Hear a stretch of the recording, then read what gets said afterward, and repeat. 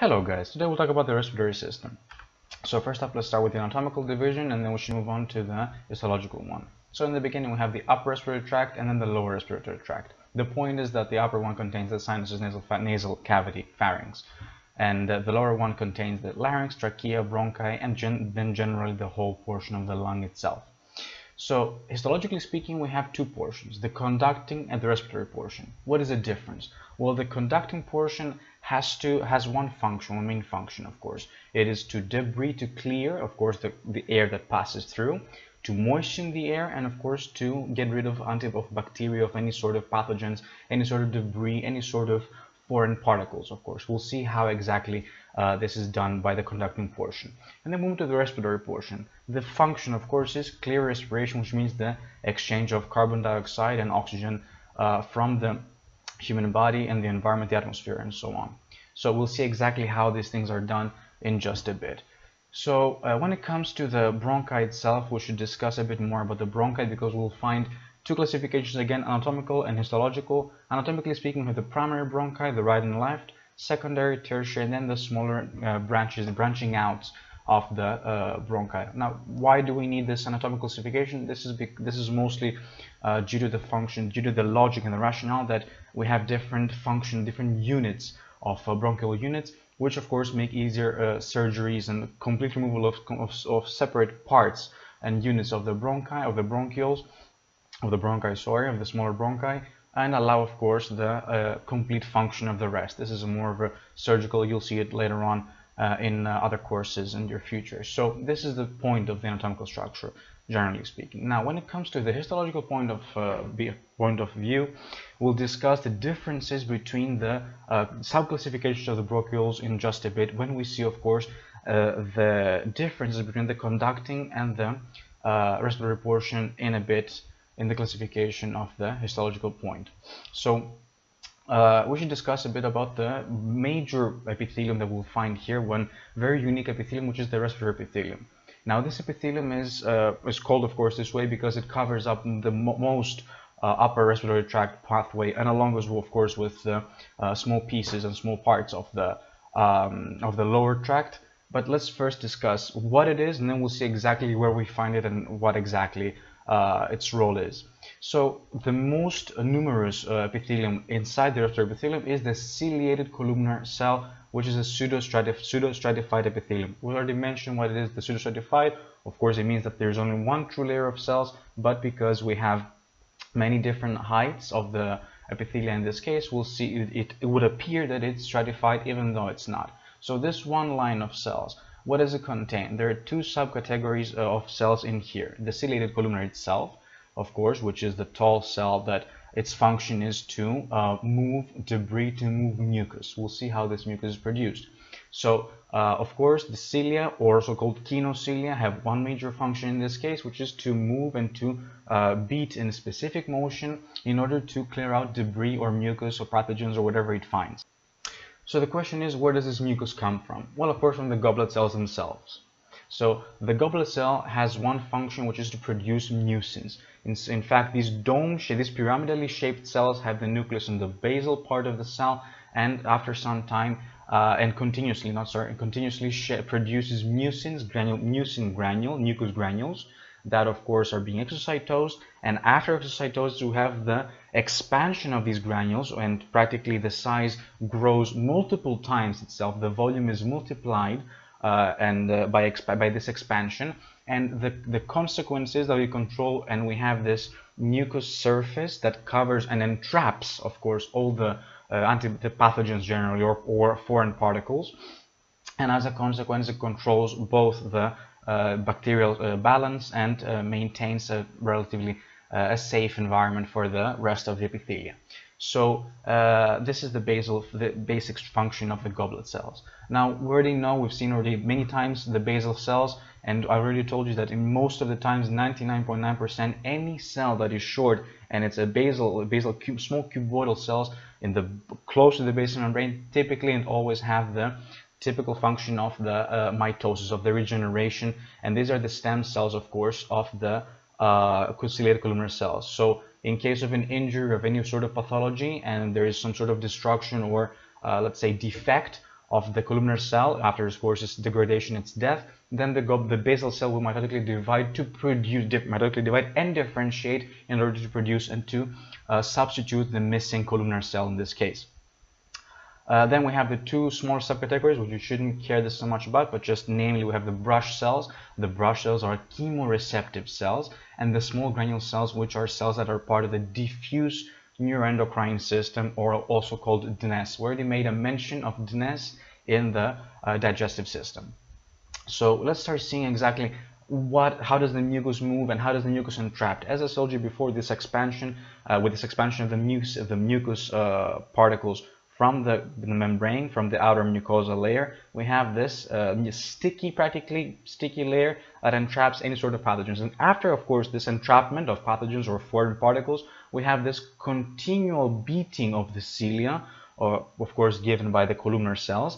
And uh, as a consequence, we have the movement of mucus, and entrapped, of course, uh, with the many different foreign particles or pathogens, and their continual beating upwards towards either the mouth, which then you expectorate, cough out practically, or you swallow in this case, and this is the future, let's say the, the whole potential of the mucus. It's either to, and, to entrap and expectorate or to swallow uh, and then pass on, sorry. Uh, so in this case, uh, we should continue and see exactly how this membrane looks like. And I want to make a special mention here. Of course, if we can see, typically this is the mucous membrane, the mucus, uh, the whole mucous membrane. Beneath we're going to find the numerous columnar cells and the small basal cells which are typically better seen in this picture right here. We'll see them of course in a bit in the uh, slides. But the, what I wanted to mention here is this very very thick layer. This very thick layer exactly beneath the basal cells and beneath the columnar cells and this is exactly the uh, this is where we can find the thickest basal membrane in the whole body. In fact, because of its size here, this is where it was discovered uh, exactly in the respiratory portion of the pseudostratified epithelium or also called mostly and more properly called respiratory epithelium. So the first thing we should do, the first uh, uh slide we're going to talk about is the epiglottis. So the epiglottis is a unique slide because it contains uh, let's say very uh, direct information and direct hints to the uh, student or the, uh, the examiner of exactly where we are and why we are at it. We'll see exactly in just a second why and how this is done. So here we have the epiglottis. And the unique feature here is we're going to find the two different epithelia, uh, different types of epithelia exactly in the same slide. The first ones we're going to see is the stratified squamous non epithelium. And as we said many, many times, whenever we have the squamous stratified non epithelium, this means one thing, that this is a wet area, which means because this is because, of course, there is no point of water loss or water or liquid loss. Uh, and, and, of course, in comparison to keratins, which is uh, the point of the keratin is to maintain hydration and to maintain the liquids and the, the content, liquid content within the human body and not outside, for example, the skin.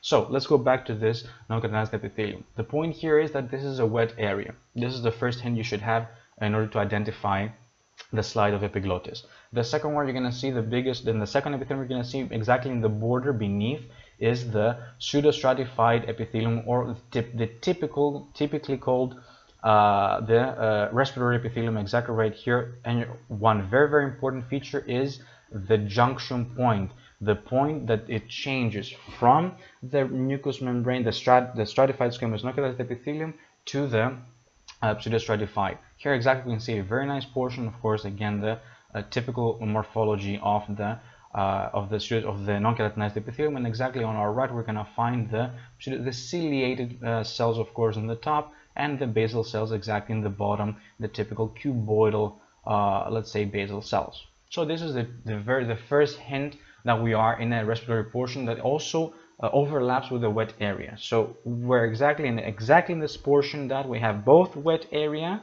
and uh, we have we're part of the respiratory system. So this is the first give out uh, uh, of the uh, that here we have the epiglottis. This is the first one. The second one you'll see, of course, is the cartilage. As you can see exactly right here, and we already mentioned that uh, this cartilage, with along with the perichondrium, can be two different options, either the hyaline cartilage or the elastic cartilage. So, in order to identify and to distinguish uh, the hyaline cartilage between the elastic and hyaline cartilage, we have a couple of tricks up our sleeves. The first trick that we can have is, of course, the content in the lacuna. If we find uh, up to two cells, up to two chondrocytes within the lacuna, then we can be almost certain that we are in the elastic. If we find more, more than two, up to eight, then we can say that this is the hyaline cartilage. Now, of course, this is only a theoretical point, and practically speaking, it's not that it's not always that easy to distinguish uh, if the one lacuna that we have in front of us is exactly in the same layer because let's not forget we're working in a three-dimensional structure. So you might have overlaps, you might have visual tricks, you might have typical illusions, of course, as always, as we always have in the uh, case of the uh, slides, in the two-dimensional slide of a 3D structure. So the second and most easy, the easiest trick to identify, of course, if you don't have a different staining, because as we know, the elastic cartilage contains high amount of elastic fibers, and this can be stained with a Verhoeff stain. For example, this is the picture of the Verhoeff stain, and we can see the differences in the content of the elastic so you can see all this black, all these black points, all these black uh, stained areas are of course filled with elastic fibers. So if you don't have a second staining and typically you want you'll have the typical H and E, then the other give out is of course the epithelium. So as long as you see one cartilage structure, either hyaline or elastic, and these two different types of epithelia, then you can be sure that of course the respiratory and non-keratinized, then you can be sure that this is the epiglottis, and as a consequence you have the elastic area. And the function of the epiglottis, I'm sure you already know from anatomy, I'm just going to state it out again, is of course to block out the larynx and to block out the food from going into the larynx and the trachea and of course prevent suffocation. So this structure has to be elastic, has to be able to uh, practically uh, let's say flop and cover and overlap the full structure of the pharynx and then go back in order to uh, allow breathing in this case. So this is the uh, very very easy way to identify the epiglottis along with these structures, along with the cartilage and along with the different, two different types of epithelia, you're going to find, of course, the seromucous glands.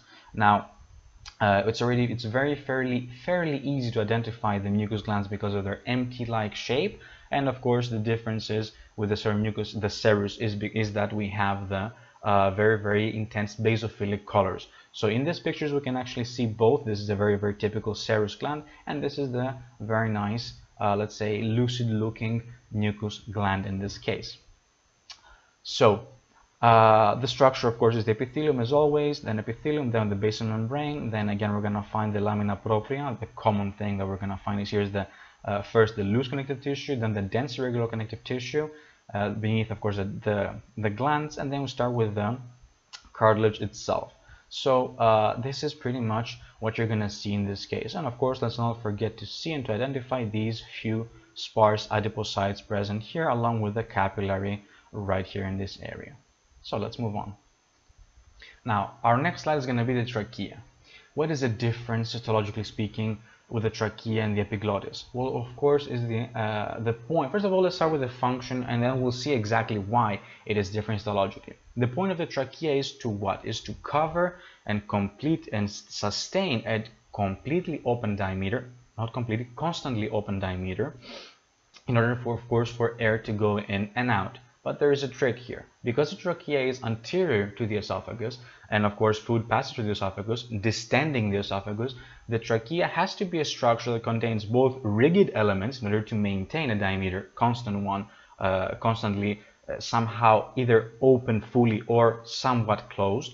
So we have we have this necessity, this functional necessity uh, for the trachea to adjust its diameter constantly. So uh, in order to maintain this rigidity and to maintain this, uh, let's say, uh, uh, the, rigid part of the structure would be the cartilage. Of course, not elastic in this case. We need a hyaline cartilage, something that is more rigid and more sustainable and more mechanically responsible, let's call it. So here we have these two sections. We have the uh, cross section and the longitudinal section right here.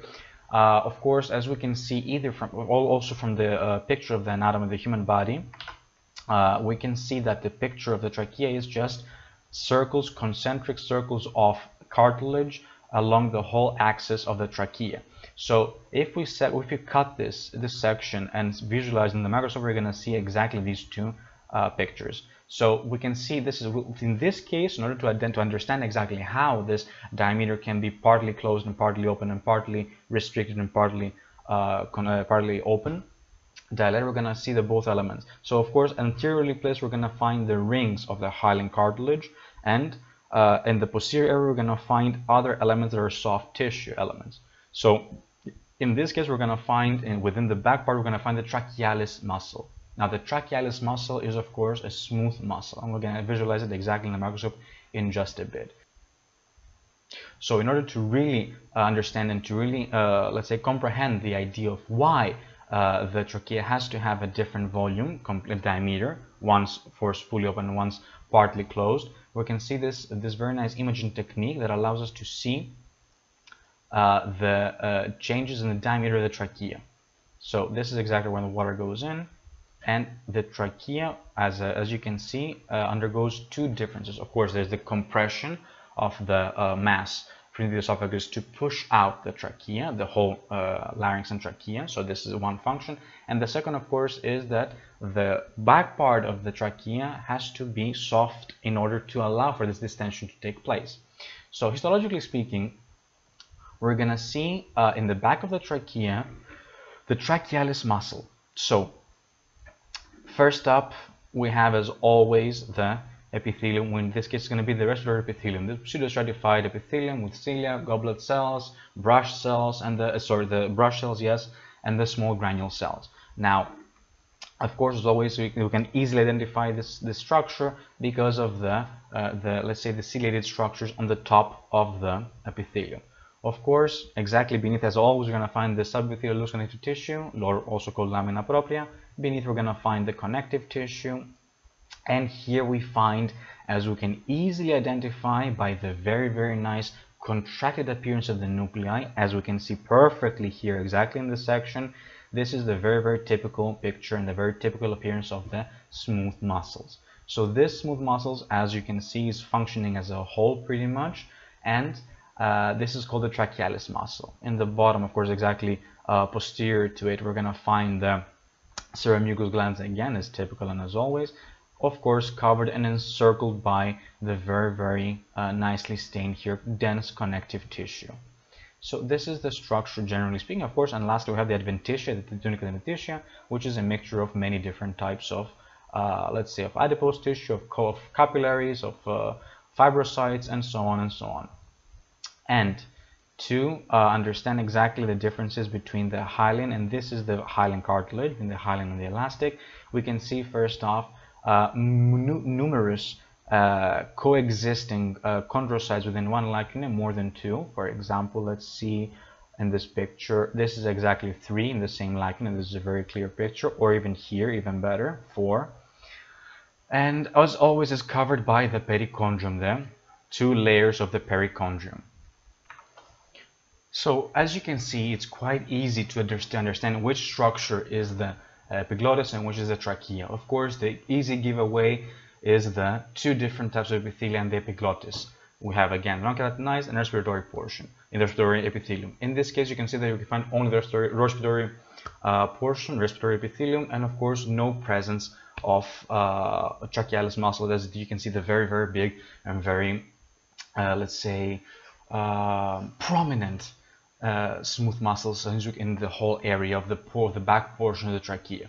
Of course, the logic is exactly the same with the longitudinal section. We're going to find exactly the same features, but we're not going to find easily or at all actually the um, uh, the smooth muscles, the trachealis muscle in the longitudinal section because we don't have the whole uh, the whole portion of the uh, or the whole portion of the smooth muscle of the posterior part of the trachea. So let's move on to the lung.